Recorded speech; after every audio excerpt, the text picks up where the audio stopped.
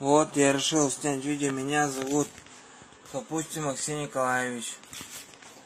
И вот часы мне подарил президент Дмитрий Медведев в 2011 году. Уже прошло, так, правда, 9 лет прошло. Вот. Часы президента России. Россия. Батарейка села, не, не обращайте внимания. Президент России. И сзади я герб потерял. Вывалился нафиг.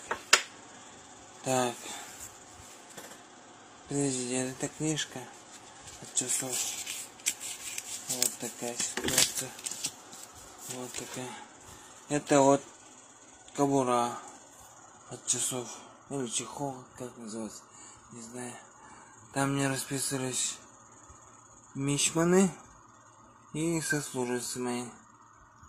Вот все.